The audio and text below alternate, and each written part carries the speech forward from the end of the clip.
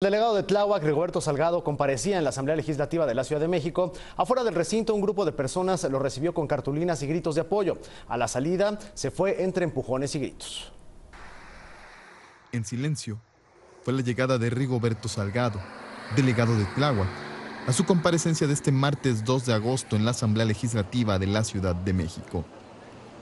Llegó minutos antes de las 8 de la mañana prefirió evitar el encuentro con los medios de comunicación. 250 uniformados fueron dispuestos para las labores de seguridad. Rigoberto Salgado permaneció en una oficina con su grupo de asesores. Antes de las 11 de la mañana, inició el ingreso de los diputados que participarían.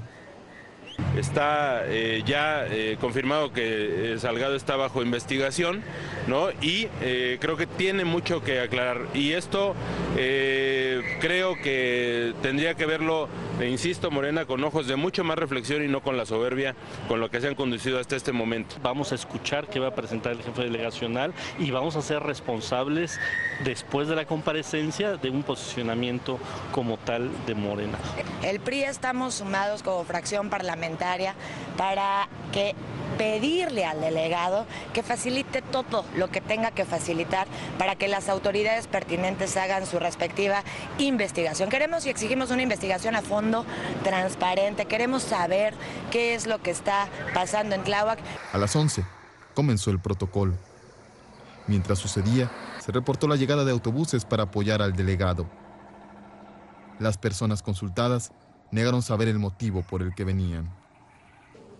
Cuatro horas y treinta minutos se prolongaron las preguntas y respuestas realizadas por los legisladores.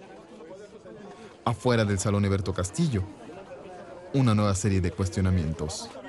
Es una celada lo que, lo que vivimos.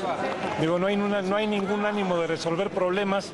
Hay una serie de circunstancias, de situaciones que son sacados fuera de contexto, que no han sido incorporados a ninguna carpeta de investigación, se tiene toda la posibilidad, el deseo de difamar.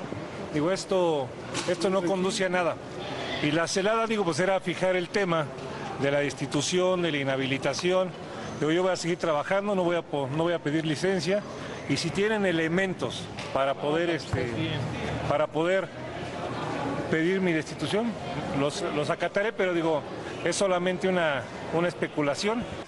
Un grupo de personas recibió con cartulinas y gritos de apoyo a Salgado Vázquez. Un avance lento hacia el vehículo en donde abandonaría el sitio. La negativa de haber tramitado un amparo. ¿Va a tramitar algún amparo? Se dijo que tramitó un amparo. No. No hay ningún amparo. Eso es mentira, ¿no? Así fue, como Rigoberto Salgado partió de la Asamblea Legislativa. Con imágenes de Eduardo Salinas para Imagen, Abraham Nava.